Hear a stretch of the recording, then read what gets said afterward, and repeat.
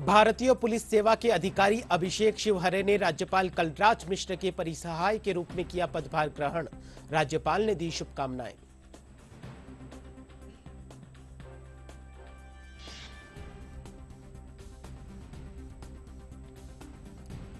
मुख्यमंत्री भजनलाल शर्मा ने धौलपुर के लाडली जगमोहन मंदिर में किए दर्शन। प्रदेश की खुशहाली और सुख समृद्धि की करी कामना।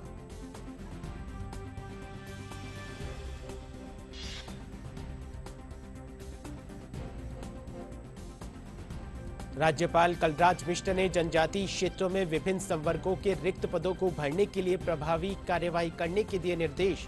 कहा, समय पर हो कार्यवाही।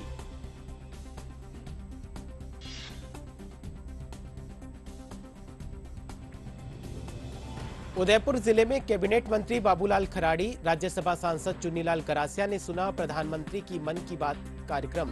भाजपा पदाधिकारी सहित कई कार्यकर्ता रहे मौजूद।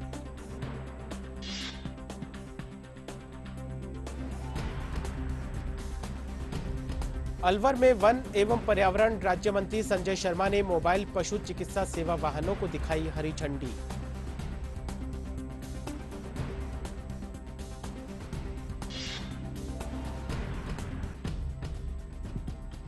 उदयपुर में जनप्रतिनिधियों ने मोबाइल पशु चिकित्सा वैन को दिखाई हरी झंडी।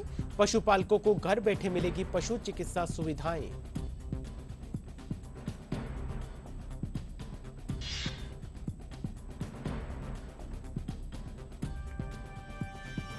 जयपुर मेट्रो रेल द्वारा संपर्क सभा का किया गया आयोजन। मेट्रो रेल की सुरक्षा में तैनात पुलिस अधिकारी और कर्मचारी रहे मौजूद।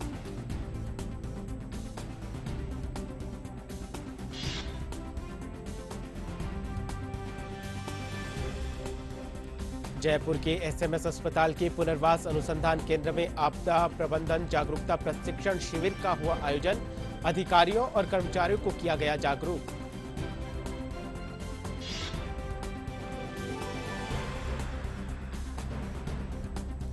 उदयपुर जिला परिषद की सीईओ कीर्ति राठौड़ ने की अधिकारियों के साथ बैठक। बीपीएल श्रेणी के वरिष्ठ नागरिकों को संबल प्राप्त कराने के दिए दिशा निर्देश।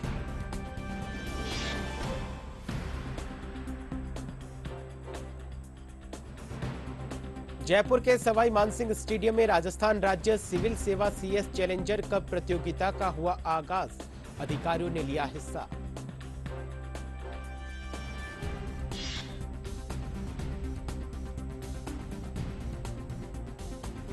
प्रदेश में समर्थन मूल्य पर गेहूँ की खरीद के लिए पंजीयन प्रक्रिया हुई शुरू।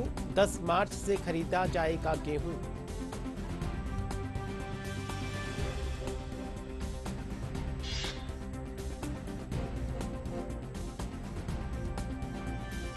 उदयपुर में डेयरी और खाद्य प्रौद्योगिकी महाविद्यालय में पाँच दिवसीय कौशल विकास कार्यक्रम का हुआ समापन। 21 प्रतिभागियों ने किया कौशल उन्नत।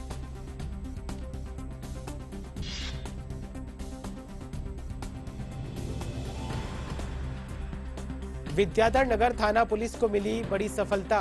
पुलिस ने वाहन चोरी करने वाले अपराधी को किया गिरफ़्तार।